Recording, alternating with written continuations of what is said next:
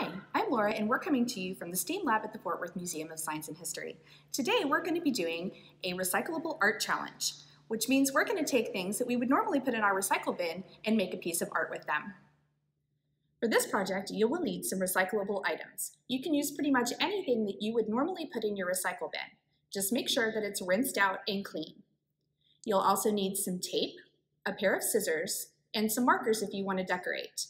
You can use as many or as few recyclable items as you want to for this project.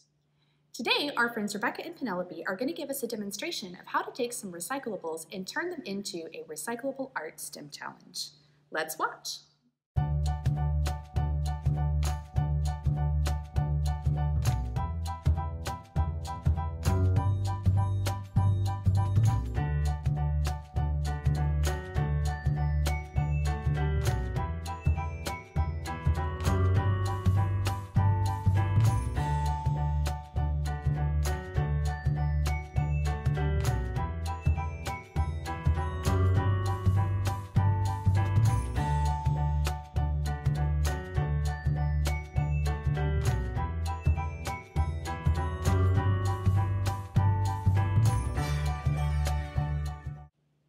You for joining us today in the STEAM Lab at the Fort Worth Museum of Science and History. We hope to see you soon.